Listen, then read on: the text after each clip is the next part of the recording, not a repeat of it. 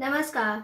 Senior kitchen में आपका स्वागत है। आज हम बनाएँगे दलिया का पुलाव, जो बहुत ही हेल्दी भरा होता है और बच्चों को तो कम पसंद आता है, लेकिन बड़े बड़े चाव से खाते हैं। पर इस तरीके से बनाएँगे आप तो बच्चे भी बहुत शौक से खाएँगे। तो चलिए आज हम बनाते हैं दलिए का पुलाव। तो सामग्री है एक एक कटोरी दलिया, एक बड़ा कटा हुआ प्याज, दो से तीन हरी मिर्ची गार्निश के लिए धनिया गरम मसाला, जीरा, लाल मिर्ची, हल्दी पाउडर और धनिया पीसी हुई। और हम छौक में लेंगे दालचीनी का छोटा सा टुकड़ा, दो लौंग, एक इलायची और एक तेज़पात पत्ता। जो इसमें हम सब्ज़ियाँ यूज़ करेंगे, वो है एक मीडियम मीडियम आलू कटा हुआ, एक शिमला मिर्च कटा हुआ, आधा गाजर छोटा गोभी और दो टमाटर और थोड़े से मटर। ये हम उसमें डालने के लिए यूज़ करेंगे। दलिया में जो आपके पास सब्ज़ियाँ उपलब्ध हों, आप वही सब्ज़ियाँ डाल के बना सकते हैं। ऐसा ज़रूरी नहीं है कि इतनी सारी सब्ज़ियाँ हों तो ही इसको आप बना, आप सिर्फ़ आलू भी डाल के बना सकते हैं इसको। तो चलिए हम बनाते हैं। तो देखिए, हमने कढ़ाई को गर्म कर लिया है। अब इसमें हमने एक चम्मच घी डाला है। और घी भी हमारा गर्म हो गया है। अब हम जो हमने दलिया लिया है, जिसका हम पुलाव बनाएँगे तो अब हम इसको इसमें ट्रांसफ़र कर देंगे। और अच्छे से हमने इसको साफ़ कर लिया है। आप भी अच्छे से इसको भून लीजिएगा, साफ़ कर लीजिएगा। और इसको हम इसके बिल्कुल एकदम खिला खिला ये जब चटकने लगेगा, तब तक इसको हम भूनेंगे। भूनेंगे, तब ये बिल्कुल गैस बिल्कुल ऐसा हो जाएगा, जैसे मतलब कोई चीज़ भूनते हैं ना, हल्के फॉर्म में हो जाता है तो ऐसे ही हल्के फॉर्म में हो जाएगा। आप चाहें तो बिना घी के भी इसे भून सकते हैं। पाँच से दस मिनट लग जाता है इसको भूनने में। ये ब्राउन से वाइट फॉर्म में हो गया है। अब ये अच्छे से भुन गया है। अब हम इसको अलग बर्तन में ट्रांसफ़र करेंगे। अब हम दो से तीन चम्मच घी लेंगे। आप चाहें तो रिफाइंड में बना लीजिए। हमारा घी ये गर्म हो गया है। मीडियम फ्लेम पे है गैस। अब हम इसमें डालेंगे आधा चम्मच जीरा। और जो हमने साबुत मसाले लिए थे, वो अब डालेंगे इसके अंदर। अब डालेंगे इसमें मिर्ची। अब डालेंगे हम प्याज। अब हम प्याज को अच्छे से ब्राउन होने तक भूनेंगे इसको।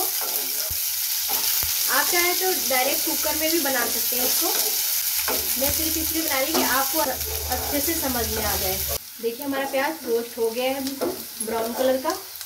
अब इसमें हम डालेंगे एक चम्मच धनिया पाउडर, आधा चम्मच से थोड़ा सा कम हल्दी पाउडर, आधा चम्मच लाल मिर्ची, थोड़ा सा गरम मसाला। अब इसको अच्छे से भूनेंगे। अब इसमें हम डालेंगे सारी सब्ज़ियाँ एक एक करके। आलू, शिमला मिर्च, गाजर गाजर हम कम ही लेंगे क्योंकि गाजर में मीठापन होता है। तो पुलाव में अगर मीठापन ज़्यादा आ जाएगा तो अच्छा नहीं लगेगा वो टेस्ट में। और ये गोभी। अब हम इन सारे सब्जियों को अच्छे से भूनेंगे। तो देखिए, हम इसको थोड़ी देर ढक देते हैं, जो सब्ज़ी बिल्कुल मुलायम हो जाए। चलिए देखते हैं। तो देखिए, हमारी सब्ज़ी काफ़ी हद तक ये सॉफ्ट हो गई है।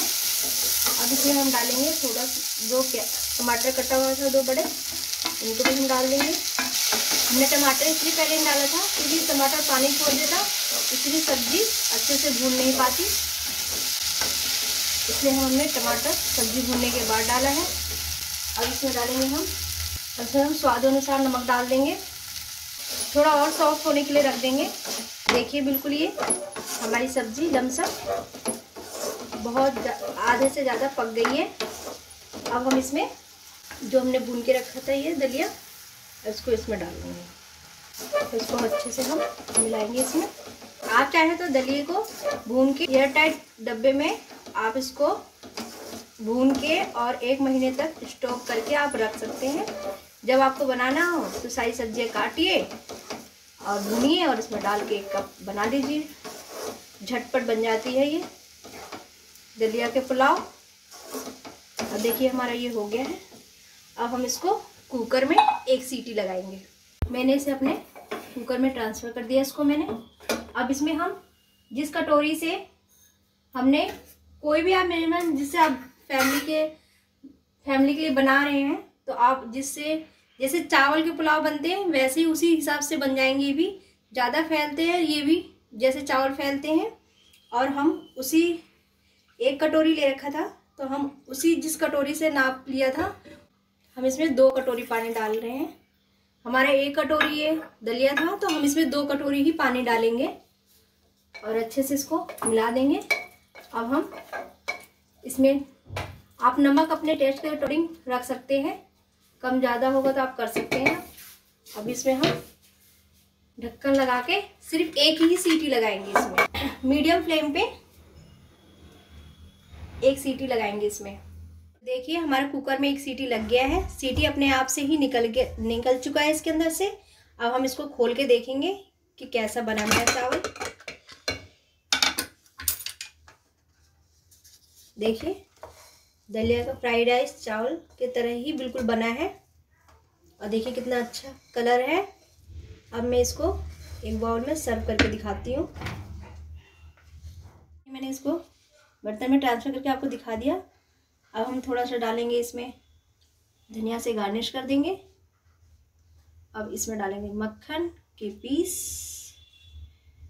आप चाहें तो इसे घी, बटर या किसी भी चीज़ से डाल के खा सकते हैं। ये बहुत ही टेस्टी लगता है। गरम गरम खाइए और बच्चों को खिलाइए और एंजॉय कीजिए। देखिए, हमारा दलिया का पुलाव बन के तैयार है और खाइए और एंजॉय कीजिए। लाइक सब्सक्राइब और शेयर ज़्यादा से ज़्यादा कीजिए और फिर मिलेंगे नेक्स्ट वीडियो में नेक्स्ट रेसिपी के साथ। तब तक के लिए बाय बाय